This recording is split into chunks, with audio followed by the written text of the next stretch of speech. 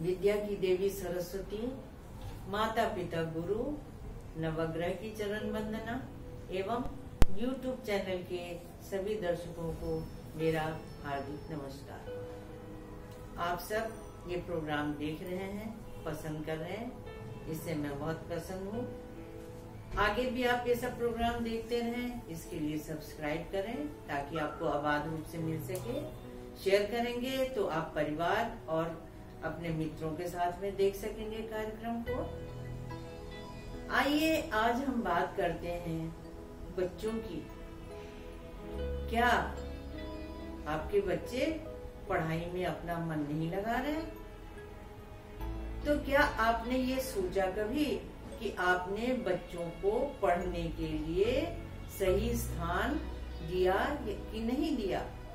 कहीं आपके बच्चे चलते फिरते तो नहीं पढ़ रहे कहीं लेट करके तो नहीं पढ़ रहे कहीं कुर्सी पे बैठ करके तो नहीं पढ़ रहे कहीं सोफे पे लेट के तो नहीं बैठ रहे, पढ़ रहे ये सभी चीज़ें बच्चों के कंसंट्रेशन में कमी करती है। आइए, आज हम आपको बताते हैं कि जो पंचम भाव है, वो शिक्षा का भाव होता है। बच्चे का कंसंट्रेशन फिफ्थ हाउस से ही होता है, क्योंकि एसेंडेंट से जो रेज आती हैं, वो फिफ्थ हाउस में पड़ती हैं। इसलिए बच्चे की शिक्षा कैसी होगी, वो नहीं आ रहा।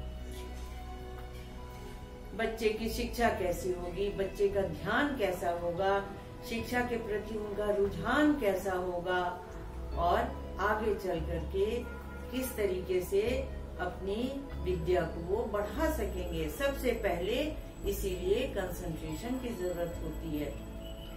आपको बच्चे के लिए वो सुविधा प्रदान करनी चाहिए ताकि बच्चा सही तरीके से पढ़ सके। अगर आपका बच्चा मेष लग्न का एरीज एसेंडेंट का है तो आप उसके लिए बैठने की व्यवस्था पूर्व दिशा की ओर करें।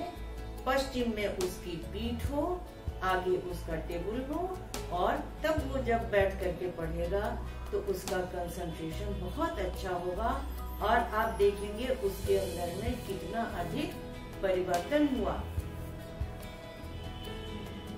ये ध्यान रखें कि ये जो बात मैं आपसे बता रही हूँ, ये लग्न पर आधारित है, राशि पर आधारित नहीं है। उसके बाद में वृक्ष राशि टॉरस एसेंडेंट वृक्ष राशि वालों के लिए भी बच्चे का मुँह पूर्व दिशा की ओर करके बैठना बहुत शुभ होता है, क्योंकि शुक्र पानी की तरह से बह जाता है तो सूर्य की किरणें उसको अधिक प्रबल करती हैं और वो अच्छी तरीके से पढ़ सकता है और उसके अंदर में स्थिरता आ सकती है। अब बात करते हैं मिथुन लग्न वाले बच्चों की। तो मिथुन लग्न वालों के लिए सबसे शुभ दिशा है उत्तर। दक्षिण की तरफ़ उसकी पीठ रखें और उत्तर की तरफ़ उसका टेबल रखें और उस पर वो बैठ करके पढ़े। तो बहुत जल्दी वो सीखेगा। बीच में मैं आपको एक बात ये बताना चाह रही हूँ कि हमेशा ध्यान रखें कि कहीं ऐसा तो नहीं कि जिस दिशा में भी आप बच्चे का मुँह कर रहे हैं, उसके आगे में टॉयलेट है। अगर टॉयलेट है तो फिर आप उस दिशा में बच्चे का मुँह नहीं करें। कुशल ज्योतिषी से ही निर्धारित करके तब आप उसका काम करें, तब उसका आप टेबल रखें। अब बात आती है कर्क राशि की, कर्क लग्न वाले बच्चों की। कर्क लग्न वाले बच्चों के लिए भी पूर्व दिशा शुभ है, क्योंकि चंद्रमा सूर्य से ही प्रकाश रश्मियों को लेता है, इसलिए वो दिशा बहुत शुभ है। पश्चिम की तरफ़ पीठ रखें और पूर्व दिशा की ओर बच्चे का मुँह रखें। अब आती है बात सिंह की। सिंह लग्न का मालिक, सूर्य होता है। सूर्य से हमेशा ही उसको अच्छी प्रतिभा अच्छा ज्ञान और अच्छा कंसंट्रेशन होगा। तो बच्चे का मुँह आप पूर्व दिशा की ओर रखें और पीठ पश्चिम दिशा की ओर रखें। अब बात आती है कन्या लग्न वालों की। कन्या लग्न वालों के लिए सबसे शुभ है। उत्तर दिशा, उधर आप मुँह करके बैठ करके बच्चे को पढ़ाएँगे तो उसका ध्यान बहुत अच्छी तरीके से पढ़ाई में लगेगा। फिर तुला। तुला लग्न वालों के लिए भी आप उत्तर दिशा का चुनाव करें, बच्चे की पीठ दक्षिण में और मुँह उत्तर की ओर रखें। अब वृश्चिक वृश्चिक लग्न वालों के लिए, पढ़ने के लिए सबसे शुभ दिशा होती है पूर्व की ओर। पूर्व की ओर मुँह करके बैठे तो सब तरीके से जल्दी से बच्चा सीख सकता है। फिर धनु। धनु लग्न वालों के लिए भी पूर्व दिशा शुभ है और अगर उनकी पीठ पश्चिम में हो और सामने देख करके पढ़े पूर्व की ओर तो सूर्य की प्रकाश रश्मियाँ उसके लिए बहुत शुभ होंगी। अब बात करते हैं मकर लग्न की। मकर लग्न वालों के लिए सूर्य बहुत अच्छा प्रभाव नहीं देता। इसके लिए उनको उत्तर की ओर मुँह करके, बैठ करके पढ़ने से बहुत ही शुभ फल होगा। कुंभ राशि वाले, कुंभ लग्न वाले। कुंभ लग्न वालों के लिए पूर्व दिशा और उत्तर दिशा दोनों ही शुभ है। वो अगर पूर्व दिशा की ओर मुँह करके बैठते हैं तो उनकी पश्चिम में पीठ होगी। और उत्तर दिशा की ओर मुँह अगर करके बैठते हैं तो दक्षिण में उनका मुँह होगा। अब बात करते हैं मीन लग्न की। मीन लग्न वालों के लिए पूर्वोत्तर दिशा बहुत शुभ होती है और हमेशा ही वो पूर्व की ओर अगर ज्ञान प्राप्त करना चाहते हैं, बैठेंगे तो उनके लिए बहुत ही शुभ होगा। उत्तर दिशा से भी उनको ज्ञान बहुत अच्छा प्राप्त होगा।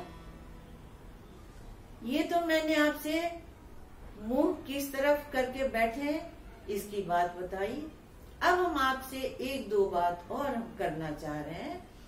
कभी भी बच्चों से निगेटिव बात मत करिए।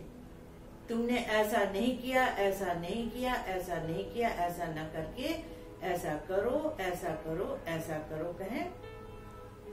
बच्चे के कमरे में प्रसिद्ध व्यक्तियों की, जिन्होंने अपने नाम से श्रेष्ठ प्रतिष्ठा प्राप्त की ज्ञान अर्जन किया, ऊँचा मुकाम बनाया, उन सब की तस्वीर लगाए, ताकि वो बच्चों को उस ऊंचाई तक पहुँचने के लिए प्रेरित करते रहे। कभी भी बच्चे के कमरे में बिल्ली, शेर, मगरमच्छ, दौड़ते हुए घोड़े, गधे घड़ियाल, इन सब की तस्वीर नहीं लगाएँ, वो सब बच्चे को डिस्ट्रैक्ट करते हैं, लड़ाई झगड़े के लिए उद्यत करते हैं, ऐसे ही तलवारबाजी का नहीं रखें, तीर कमान का नहीं रखें, चाकू का नहीं रखें, किसी भी अस्त्र शस्त्र का प्रदर्शन वहाँ पे न करें। टेबल पे भी नागफनी न लगाएँ। अगर आपकी बहुत इच्छा हो तो श्री यंत्र आप रख सकते हैं, जिससे बच्चे का ध्यान उसमें लगेगा। और वो सही तरीके से पढ़ाई कर सकेंगे। ध्यान रखें, बच्चे ही आपकी निधि हैं। अगर वो अपनी शिक्षा से आगे बढ़ते हैं तो ही आपका जन्म सफल है। क्योंकि माता पिता अपने बच्चे को कितना भी धन छोड़ करके चले जाए, लेकिन अगर शिक्षित नहीं कर पाते हैं तो वो अंत में दुखी ही रह जाते हैं। इसलिए बच्चों का ध्यान रखें। मैं और भी बहुत सारी बातें बच्चों के लिए आपको बताती रहूँगी। स्टे ट्यून नमस्कार।